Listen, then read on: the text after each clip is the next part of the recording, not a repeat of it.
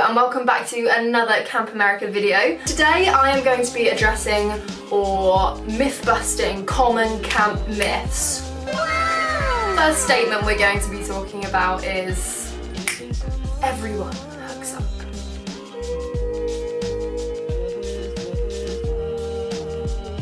Not everyone. In all seriousness, you're a bunch of 18 to 25 year olds in a confined space for three months. So people do like each other, you know? It just happens sometimes. I've said this before, but don't go to camp just thinking like, oh, I'm gonna get with this amazing American or international boy or girl, because that's just not a vibe. If you meet someone there and something happens naturally, then yeah, go with the flow. But that's just not the reason you should be going there. There's a lot funner things to be doing at camp than someone else. Can't I just said that. Statement number two. They take your phones off you. Give me my phone, man. Oh, what's wrong with you? Give me my phone. In my camp, this was false. Obviously, they don't like you going on your phones and technology in front of campers, but like nothing really happened at my camp. They just asked you not to use your phone throughout the day, which is kind of understandable. Each camp is different, so I have heard of it happening, but they should give it back to you in the evenings, I assume, because you know you'll want to text your mum and let her know you're okay. Number three, you lose weight.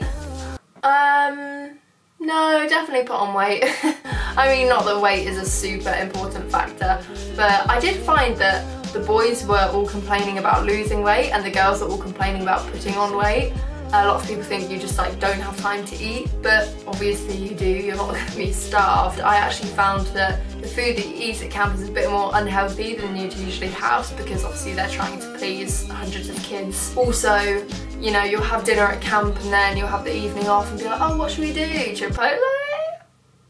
Maybe? And then you end up having two dinners. So yeah, it's not really true. Some people might lose weight, some people put it on, but it's, I would say false. Number four, you live in the wilderness. I would definitely say the more traditional camps are more out in the wilderness, like parent trap style. My camp was definitely more traditional, so it was cabins, that's what we slept in. But if you go to a different, more modern one, then you might be sleeping in dorms. You know, I've only been to my camp, so I can't really comment on others, but I would say this is false, because there's many different styles of camp that you might be going to. So it all depends. But obviously before you accept a camp, you're gonna see what it's like, you'll see pictures, you'll go on the website and see if it's your vibe.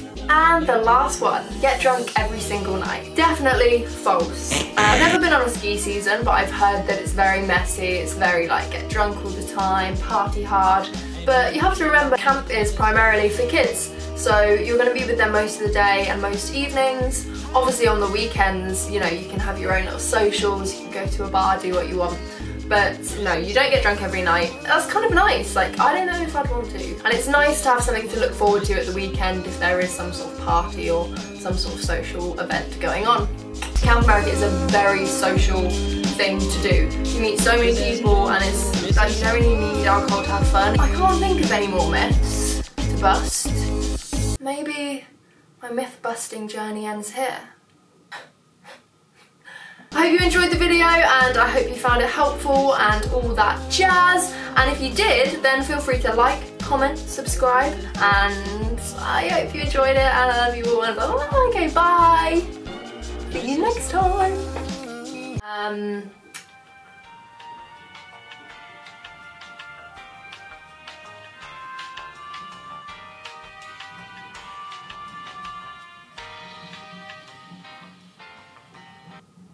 Oh, I'm in a massive daydream right now.